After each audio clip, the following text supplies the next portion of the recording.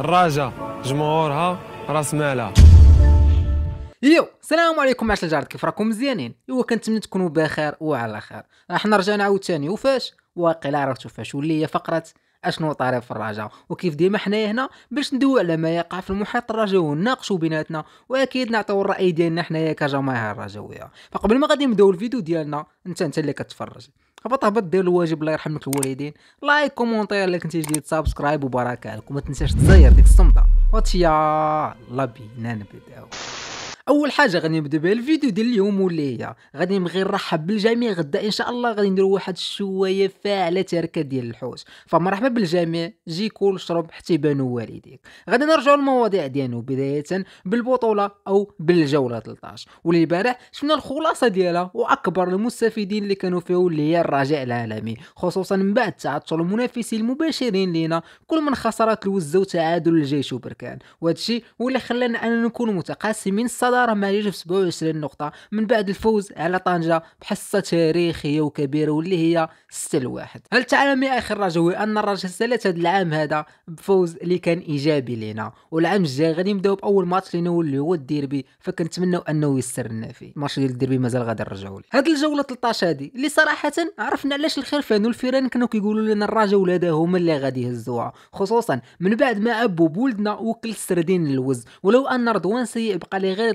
يدخل ماركي شفنا مهازل تحكيمية في ذاك الماتش. على سبيل المثال اللقطة ديال بيبو اللي فين ما كيقرب حدا حكم كيقول ليه واش ديدي ما وصاك على والو؟ والماتش الأخر اللي حتى هي شفنا فيها ولادنا هما اللي غادي يهزونا اللي شفنا فيها الحسين الرحمي بسبب مشى جوج ديال النقاط للفيران.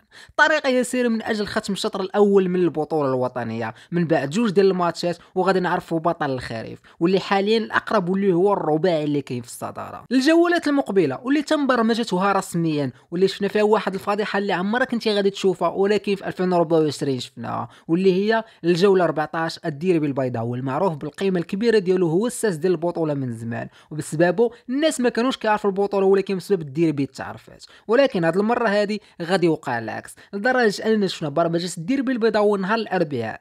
حتى لهنا كلشي مزيان. مع الربعة ديال العشية حتى هذه غادي ندوزوها. بدون جمهور غادي نغمضوا عينينا.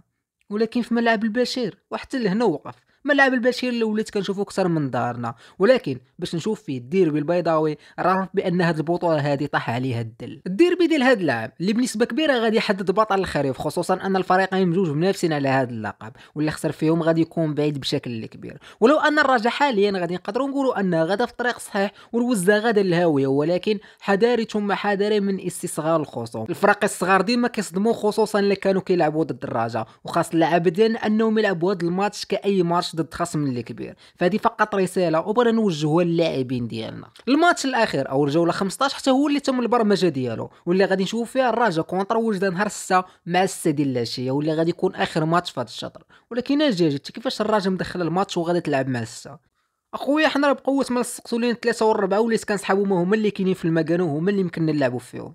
رجعوا لنا الربعه ديالنا الله يرحم به الوالدين. فكنتمناو التوفيق لفريقنا الغالي إن شاء الله ولما لا نديو هذا اللقب هذا ديال البطل الخريفي ما علينا غادي نمشيو لموضوع آخر واللي هو تقديم اللاعب الجديد هيرفي غاي واللي شفنا البارح في الصفحة الرسمية. وبهذا فراه غادي تعتبر ثاني انتداب للنسور في هذا الميركاتو هذا. واللي جا باش أنه يسد الخصاص اللي غادي يكون في وسط الميدان خصوصا من بعد ما تم رسميا رحيل روجي اوهولو من الفريق. ولو أنني شخصيا كنت كنتمنى الرحيل ديال اوهولو ما يكونش بهذه الطريقة هذه واللي هي غادي يمشي فابور ويسمح في رزقه ولكن كنت كنتمنى من التسويق ديالو والراجل تربح منه ولو شوية. ولكن غير ملي مشى وما دارش العصا في الرويضة وما قالش عطيني داكشي اللي كنت سالك فراه غادي نقولوا الحمد لله. ما علينا هيرفي جوي اللي كيف ما قلنا أنه غادي يكون هو المعوض ديال روجي اولو خصوصا اننا سينا مع هيرفي جوي فقط لستة أشهر. فالحاجة الوحيدة اللي غادي نقولوا اللي هي مرحبا بك في الدار الكبيرة وكنتمنوا أنك تكون قد المسؤولية إن شاء الله. ال next غادي نمشيو للموضوع الآخر واللي هو موضوع Raja Shop واللي رسميا تنفتح أول متجر إلكتروني لشي نادي مغربي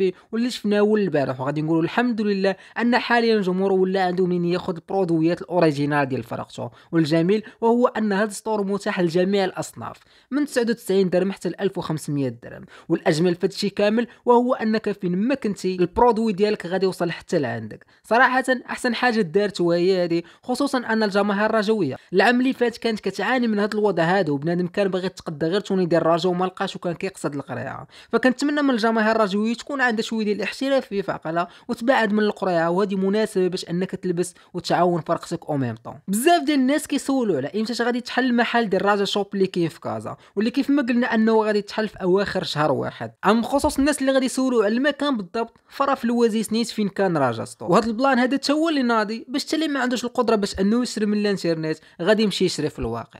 واحد التوضيح بزاف ديال الناس كيسولوا علاش برودويت ما كيبغيوش يتشراو ليا من السيد ديال راجا هل تعلم يا أخي الرجاوي. في قل من 24 ساعة أغلب البرودويت اللي تلحوا في السيت سلاوة معلم كتسمع لي سلاوة طبقة الفقيرة. اختارت لونها فيغ.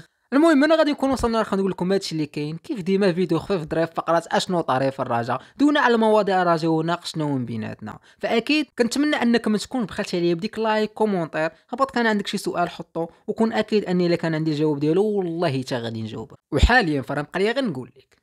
peace